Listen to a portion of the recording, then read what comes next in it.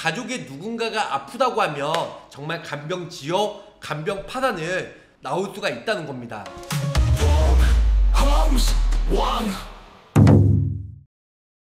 자 그러면은 60세 이상 재가급여 꼭 필요한 이유에 대해서 간단히 설명해 드릴게요. 다 같이 휘르륵 여기 보시면 장기요양 등급별 이용 현황이에요. 네, 5등급이죠. 5등급은 약 95% 자택에서 4등급은 약 89%, 3등급은 71%죠. 2등급은 47%, 1등급은 36%. 시설은 그에 비해 별로 많지 않습니다. 1, 2등급 받는다고 무조건 시설, 요양원에 입소하는 게 아니에요. 돈 있는 사람들은요, 다 집에나 실버타운에 가 있죠. 왜? 요양원에 가면 더 평균 수명이 줄어들고 더 빨리 죽는다는 그런 설도 있고 답답하잖아요. 아픈 사람들만 있고. 그렇기 때문에 일단은 시설보다는 집에 있는 게 가장 좋겠죠. 하지만 1, 2등급은 중증이기 때문에 솔직히 집에 누가 간호를 해줘야 되기 때문에 정말 돈 많은 시댁 식구 아니면 친정 부모가 아닌 이상은 과연 형제자매 아니면 아들딸들이 과연 간병을 해줄까요? 그러면 뭐니 뭐니 해도 돈이 있어야 간병을 해준다는 거죠. 물론 그 외에 요양병원도 있겠네요. 자, 일단은 남성 같은 경우는 80세, 네, 80세 빼기 71세. 이거는 건강 수명이에요. 평균 수명에서 건강 수명을 빼면 딱 9년밖에 없다는 거죠. 딱 9년 동안만 우리가 뭐 지금 71세까지는 건강 건강한 거고 약 9년까지는 몸이 아픈다는 거죠. 여성 같은 경우는 11년, 이렇게 남성은 9년, 여성은 11년 정도 아프기 때문에 간병이나 재가급여로 어느 정도 커버를 해줘야 된다는 거. 자, 우리 통계청에 의하면 22년도에 인구가 약 5,162만 8,117명이에요. 특징은 59세를 기점으로 여성 수가 많아지고 있어요. 85세에는 여성이 남성의 2배 정도, 95세부터는 여성이 남성의 3배 정도 생존할 확률이 있다는 겁니다. 자, 연령별로 생존 확률은 70세 이상은 86%, 75세는 54%, 80세는 30%고요. 85세는 15%, 90세는 5%예요. 요즘에 아무리 100세 시대, 100세 시대에도 90세 이상 사회 확률은 5%밖에 되지 않는다는 거. 이런 부분들. 그래서 특징은 59세를 기점으로 여성 수가 많아지고 있다. 이런 부분들. 그래서 남성은 80세, 여성은 86세 정도로 사는데 일단은 평균 수명이 그런데 어 이제 우리가 72세까지는 건강히 살지만 9년 정도는 아프게 산다는 거. 여성은 11년 정도 아프게 산다는 걸 수치로 이렇게 알 수가 있, 다는 겁니다. 자 그러면은 어, 좀 이렇게 다른 영상 간단히 2분짜리 보고 다시 한번 설명해 드릴게요. 보험료 인상은 아직 없습니다. 그리고 지금은 5등급 인지지원등급도 있고요. 아버지 시입생인데 보험료가 얼마 들까요? 80세까지 가입이 가능하고요. 남성이 여성보다 절반 정도 저렴해요. 왜? 여성이 평균 수명이 더 오래 살고 또 장기요양 수급자도 70% 이상은 거의 대부분 여성분들이니까. 이 영상 보고 다시 만날게요. 돌봄이 필요한 또 다른 가정, 5년 전 치매 진단을 받은 남편을 70살의 아내가 홀로 종일 곁을 지킵니다. 장기 요양 등급을 받았지만 90이 넘는 시아버지가 15년 가까이 요양병원에 입원해 있으면서 간병비 부담이 커 직접 돌보고 있습니다. 22년 기준 전국 치매 환자 수는 96만여 명, 중증 치매 환자, 1명당 한 해 관리 비용은 3,480만 원으로 추정됩니다. 치매를 비롯해 돌봄이 필요한 노인 가운데 약 75%는 전문 시설이 아닌 가족이 직접 돌보는 걸로 파악되고 있습니다.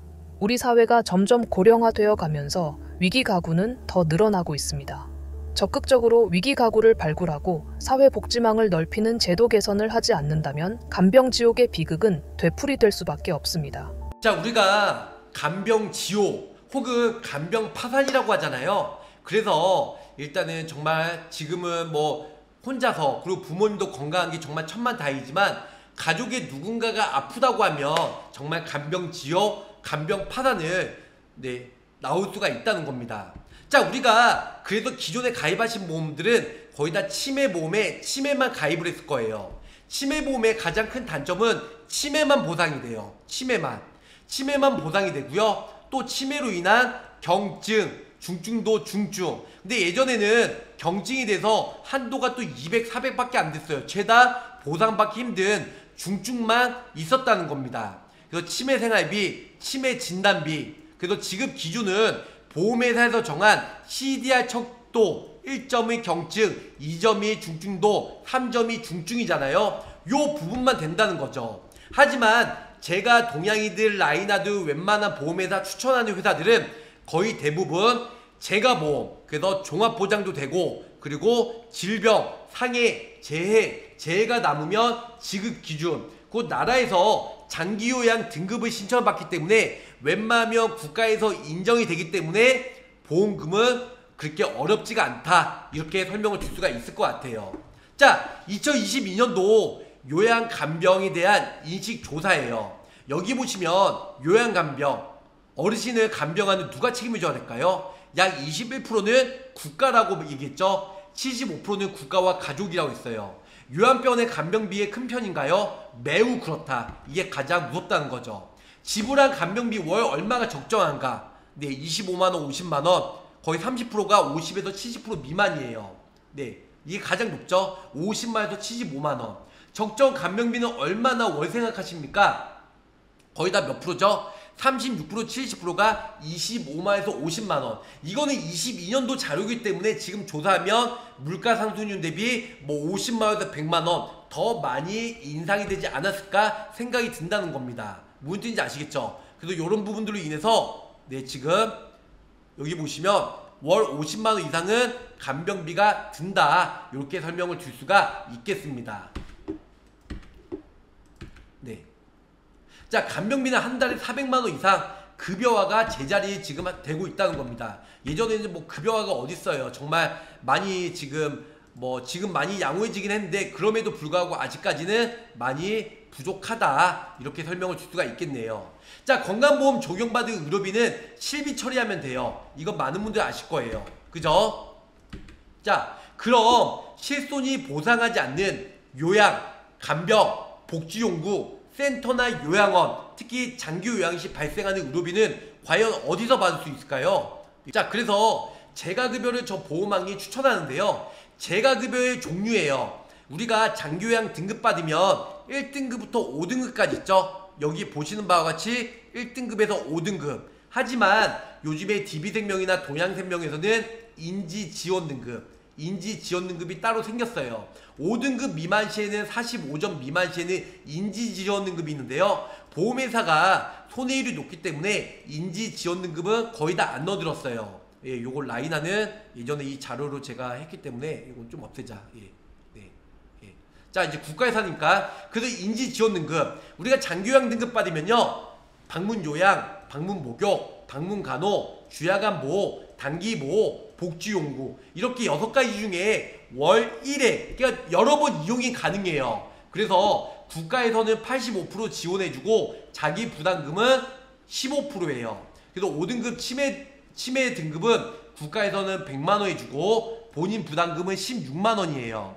4등급은 뼈마디, 인공관절, 허리 디스크 이런 부분들은 4등급 받게 되고요. 자기 부담금은 18만 원. 3등급은 국가에서는 135만 원, 본인 부담금은 20만 원이고요. 2등급은 148만 6천 원, 자기 부담금은 22만 원.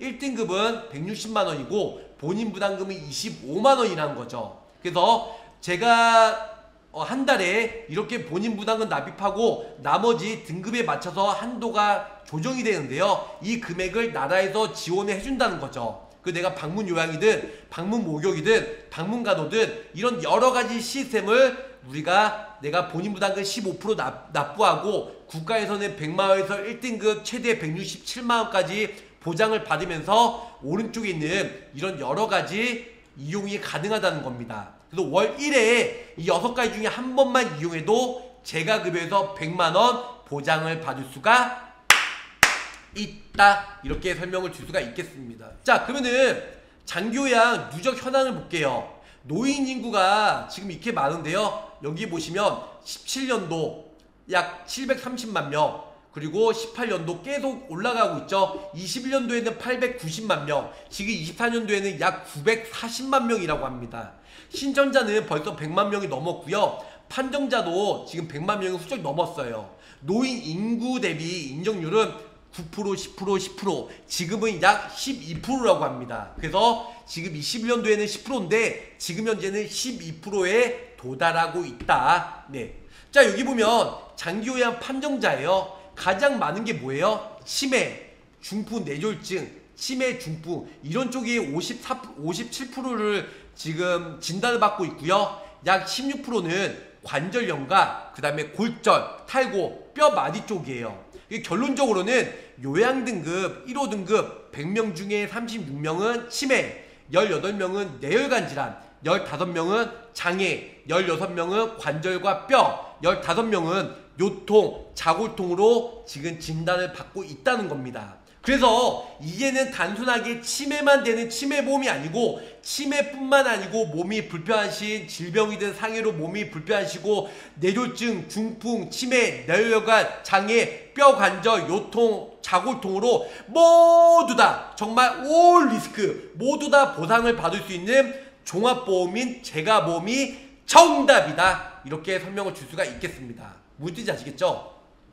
자, 65세 전에는 우리가 노인성 질환이에요. 이 65세 전에는 이 21가지 진단을 받고 6개월 동안 호전이 되지 않아야 장교양 등급 신청이 가능, 가능하고요. 물론 65세가 넘으신 분들도 이 노인성 질환 21가지 받으면 거의 99% 진단을 받을 수 있어요. 장교양 등급을. 근데 65세 전에는 이 21가지 노인성 질환을 진단을 받아야 되고 65세 넘으면 65세 넘으면 남녀노소 몸이 불편하신 어르신분들이 누구나 신청이 가능하다는 겁니다.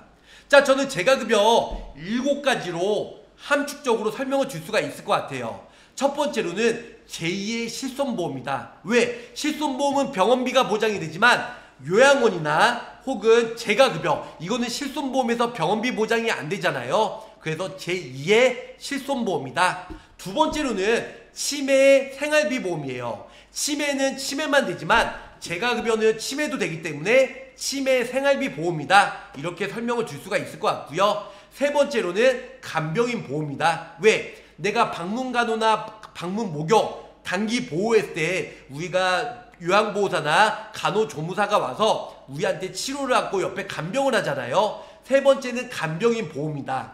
네 번째로는 뇌혈관 중풍 생활비 보험이다. 우리가 암 권리 확률 몇 프로죠? 33%. 뇌혈관, 심장질환 권리 확률 몇 프로예요? 22%. 그래서 우리가 암 다음에 뇌혈, 뇌질환, 심장질환을 가입하잖아요.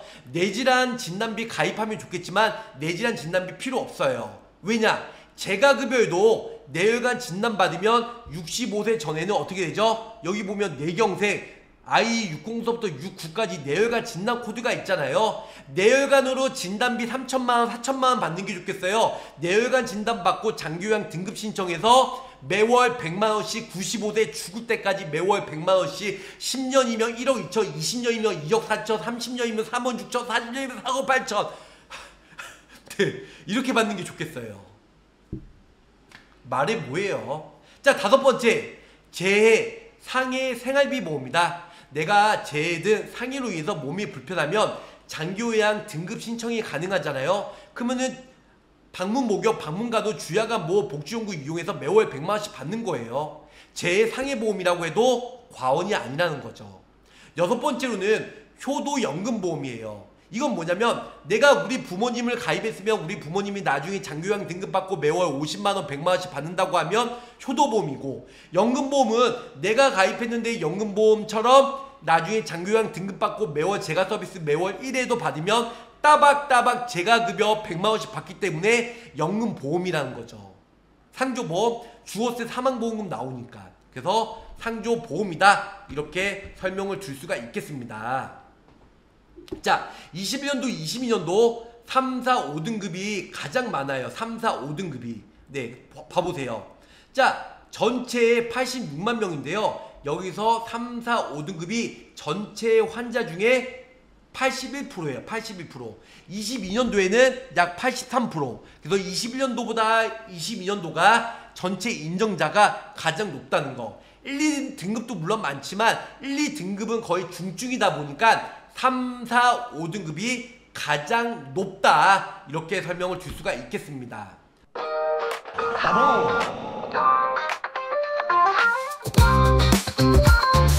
또한번